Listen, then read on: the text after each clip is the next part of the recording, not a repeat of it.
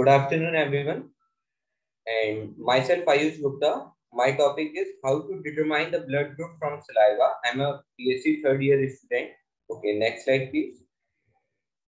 Abstract. As we all know, blood plays a very crucial role in forensic science and crime scene investigation. But in some cases, we do not even found the blood at the crime scene for example, in rape cases, robbery cases, harassment cases, suicide cases, and so many more. In such situations, we found other body fluids such as saliva, urine, and other body fluids, etc. According to the recent researches, we can also use saliva to determine the blood group. Okay, next slide, please. Introduction. So why we are using the blood group? Because blood group is very important at a crime scene because the blood group of a person never changes throughout the life because some specific antigens are present on the surface of the blood cell. With the help of these antigens, we can find the blood group of the person. But according to some researches, these antigens are also present in other body fluids such as saliva, urine, pancreatic juice, etc. Next slide, please.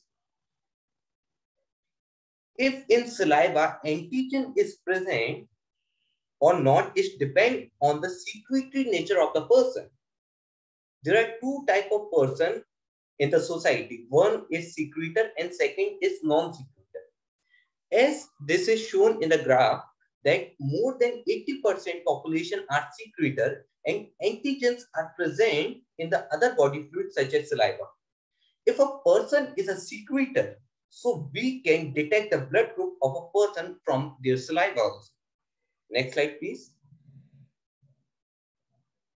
In recent years, many new techniques have been introduced and many investigations show up to have 100% accuracy in detecting the ABO blood group from saliva. The method used to detect blood group from saliva is known as absorption inhibition technique. There are also other techniques such example absorption elution technique, but in all of them, absorption inhibition technique is the best to determine ABO blood group from saliva. By absorption inhibition technique, we can find ABO blood group of a person with 100% accuracy. But there are less, less chances to determine the RH factor of the blood. Next slide, please. So there are two data in which in birth data, this is showing that the correlation of ABO blood grouping between the dry salivary sample and extracted socket blood. So this showing the 100% result to determine the ABO blood group from, from the right sample, right salivary sample. And in the second, second chart, we are showing the correlation of RH typing between right salivary sample and extraction socket blood. This is showing that there are very few chances to determine the RH factor from right salivary sample, but there are more more chances to find the ABO blood group from right salivary sample.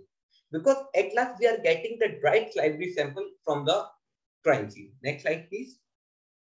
So the conclusion is that we can use saliva to to detect the ABO blood group with 100% accuracy, but we cannot find RH factor from saliva. Okay, we can also find, we can also use saliva to determine blood group, determine, to determine blood group in clinical practices and those who have phobia from injection. Next slide, please. Thank you so much.